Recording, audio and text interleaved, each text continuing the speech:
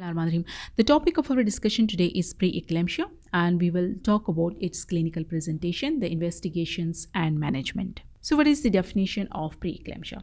Preeclampsia refers to the new onset of hypertension and proteinuria, or the new onset of the hypertension plus significant end organ dysfunction with or without proteinuria in previously normotensive patient, typically after 20th week of gestation or postpartum. It's very important to know about the high risk factors of the preeclampsia as mentioned in the NICE guideline, and those include, first of all, hypertension in the previous pregnancy, chronic kidney disease, the autoimmune disease such as systemic lupus erythematosus or antiphospholipid syndrome, type 1 or type 2 diabetes, chronic hypertension. The moderate risk factors of preeclampsia include, first of all, first pregnancy, age 40 years or older, pregnancy interval of more than 10 years, body mass index of 35 kg per meter square or more at the first visit, family history of the preeclampsia, and multi-fetal pregnancy. Now we will talk about the clinical presentation of the preeclampsia. When a patient presents with increased blood pressure, then we will take history in this way. First of all, we will ask about the demographic profile in which we will ask about the name of the patient, the age of the patient, the educational status, the occupation, the gravidity and parity, the LMP and exact gestational age, and the presenting complaints. Then we will take the trimester wise history starting from the first trimester till the current gestational age. We will ask the routine questions trimester wise then detail related to blood pressure is very important. We will start we will ask the question when was the uh, high blood pressure complaint started? Because if the patient presents with raised blood pressure before 20th weeks of gestation then it means that most probably she has got the chronic hypertension so ask about the duration of the raised blood pressure the medication she is taking the dosage, the frequency of the medication, the frequency of checking the blood pressure, and exclude IUGR. The fetal movement pattern should be asked from the patient and also ask from the patient uh, the questions related to the pattern of the abdominal growth. Then, what treatment done so far? Here in this hospital if the patient is admitted. We will ask that what type of the blood tests have been done? Has urine test been done or not? 24 or urine collection been done or not? History of the any fits and um, history of any injections like magnesium sulfates and what treatment done so far in the obstetric history, we will ask about the history of the PIH, preeclampsia, increased blood pressure in the previous pregnancy, and at what gestation that complaint took place, what treatment she got, the frequency of any control and any ultrasound scan being done or not, and the mood of the deliveries in the previous uh, pregnancies. Then we will ask the routine questions related to the gynecological history, in the medical history, specifically ask about history of diabetes and autoimmune diseases. Then the drug history is taking any other drug.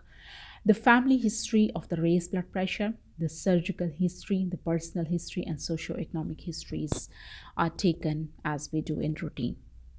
Before starting examination, we give thermometer to the patient and ask her to put it under her armpit. Examine the hands for pallor and cyanosis. Check the pulse. Check blood pressure appropriately. Examine the neck of the patient for thyroid. Examine conjunctiva for pallor. Examine sclera for jaundice. Then take thermometer back from the patient and check and record the temperature. Examine the legs of the patient for pedal edema in hypertensive patient it's very important to check the reflexes like we have to check the knee jerk and if the reflexes are brisk that may indicate the toxicity of the magnesium sulfate. Also check the ankle jerk of the patient and check whether it is brisk or it is normal. Check the ankle clonus after completing the general physical examination, we go for the systemic examination. Then do routine obstetric examination by checking the fundal height, excluding the IUGR, assessing the liquor volume, estimated fetal weight, and fetal heart sound. Check abdominal wall edema and right upper quadrant tenderness. After examination of the patient, we go for the baseline investigation, which include first of all the blood group and RH factor. Blood complete picture, including hemoglobin, total leukocyte count, and total platelets count. Urine routine examination. Random blood sugar, which is one hour post-prandial or in Asian population, it's better to do oral glucose tolerance test. HBs antigen plus anti-HCV plus anti-HIV antibody test. Among the specific investigations, the first very important is that of the liver function tests. And the liver function tests include serum bilirubin, ALT, and ALP level. But ALT is specifically done as ALP is not of much importance in pregnancy.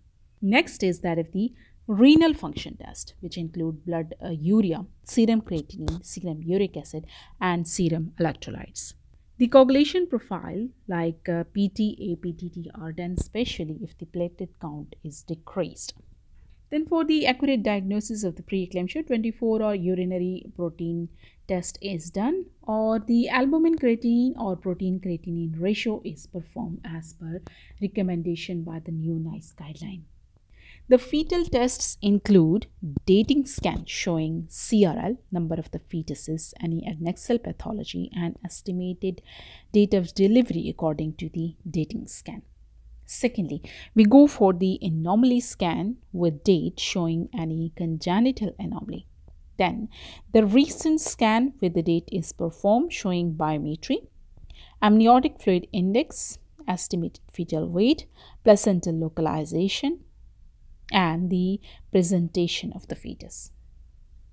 Next come the management of a patient with a preeclampsia and the management depends upon the overall, overall clinical presentation, the examination and investigation findings.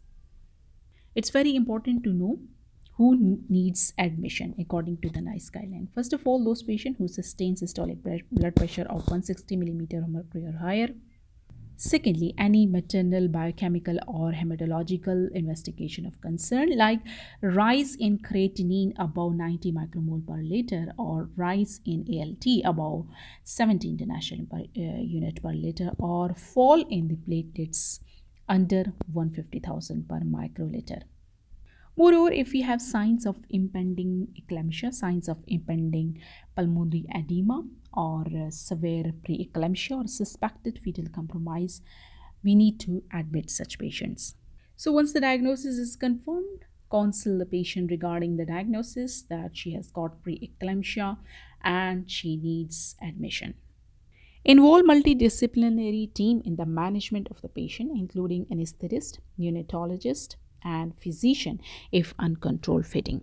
Hematologist for hematological derangement. Explain the fetal-maternal risk associated with the preeclampsia and the maternal risks include the risk of CVA, hypertensive encephalopathy, acute renal failure, pulmonary edema, superimposed preeclampsia, placental abruption, and the postnatal eclampsia. The fetal risk include the risk of miscarriage, if it is early pregnancy, the preterm delivery, IUGR, intrauterine death, and the congenital malformation. So once we plan that the patient needs admission, then we will tell the aims of admission to the patient that uh, the aim of admission is first of all to control the blood pressure, to optimize the symptom, to monitor the mother and the fetus, and to take pregnancy as close to the term as possible. So the fetal monitoring include first of all the obstetric ab uh, abdominal examination for the fetal lie, fetal presentation, the liquor volume.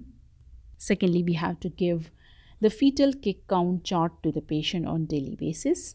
We have to check the fetal heart sound 12 hourly. Weekly obstetrical ultrasound plus biophysical profile and 2 to 3 weekly growth scan plus umbilical artery Doppler. Now, this is a chart from the NICE guideline about fetal monitoring.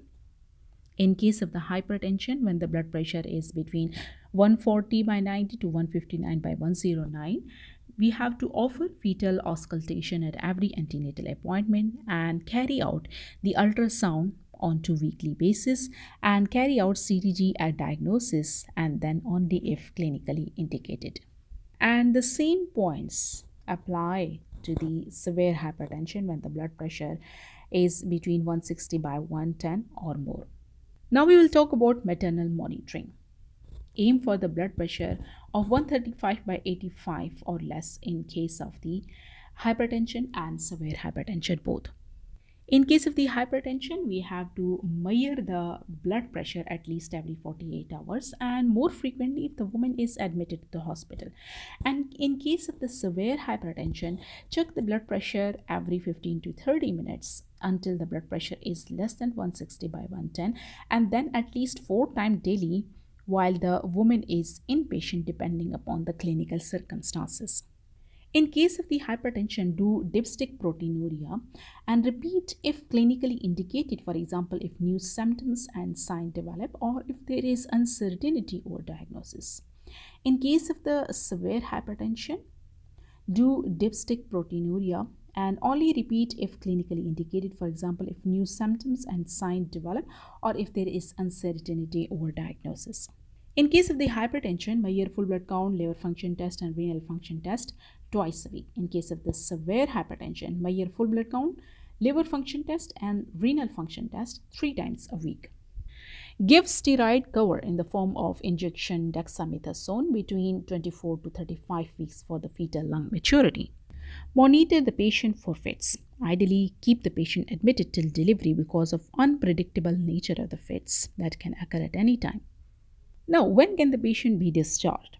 Once the patient is completely stable, fit free, and the blood pressure is under control.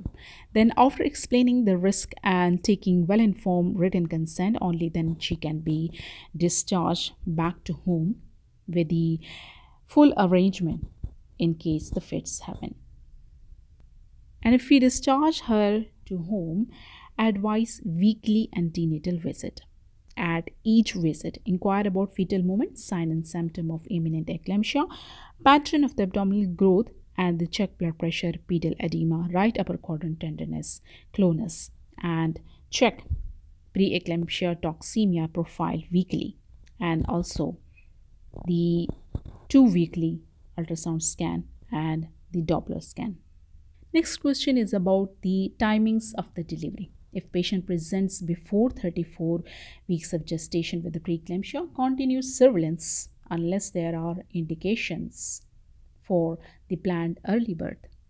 From 34 to 36 weeks of gestation also continue surveillance unless there are indications for planned early birth. And when considering the options of the planned early birth, take into account the woman's and the baby's condition, the risk factors, and the availability of neonatal unit beds. If patient presents 37 weeks onward, initiate birth within 24 to 48 hours. Regarding the mode of the delivery, it's written in the NICE guideline that if there is no contraindication to the vaginal birth, we can go for the vaginal birth. And if the patient is not in labor, then we, we can go for the induction of the labor. Provide appropriate labor care according to WHO labor care guide. After the birth of the baby, provide appropriate postnatal care. And in the woman with the preeclampsia who didn't take the antihypertensive treatment, check the blood pressure at least four times a day while the woman is inpatient, at least between 3 and 50 once. And on alternative days until normal if the blood pressure was abnormal on day 3 to 5. Along with checking blood pressure, it's very important to do the postnatal maternal monitoring. If the patient is on methyldopa, change to calcium channel blockers within two days. Urine albumin 12 hourly and inquire about the symptoms of imminent eclampsia. Discuss the different choices of the contraception with the patient. All methods are safe other than combined oral contraceptive pills because COCP suppress lactation, increase BP, and increase risk of VTE. Now, when can the patient be discharged? If the patient is stable and BP is less than 150 by 100, then she can be discharged. After discharge, check blood pressure daily or on alternative days. After discharge, we have to arrange the postnatal visits. Arrange first postnatal visit at 2 weeks when we have to check the blood pressure plus urine albumin plus PET profile.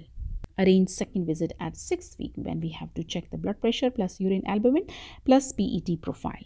Then we have to arrange the last visit at third uh, month when we have to do urine albumin. If still positive, do RFTs plus renal scan plus 24 hour proteins and refer to the nephrologist. So thank you so much. That was all about the preeclampsia, the clinical presentation, investigations and management. Subscribe on Obs and Gynae. Allah Hafiz.